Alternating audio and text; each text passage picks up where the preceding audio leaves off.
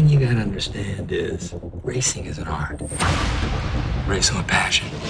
That's high art. Need for Speed, it's a game full of just adrenaline. We wanted to combine all of the cool attributes of Need for Speed, the video game, to make this film. Gamers are really going to see a true Need for Speed experience. In the game, you get to drive a huge variety of supercars. And this movie stays true to that. The Mustang is a beast. I've had a couple of Lamborghinis, the Maserati over there, and Koenigsegg Agera R.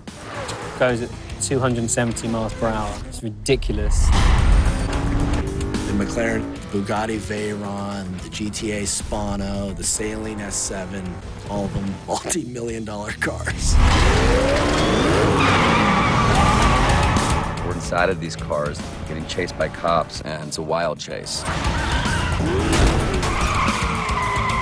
whole challenge of the film is how fast they can get across America. It's really just this race against time.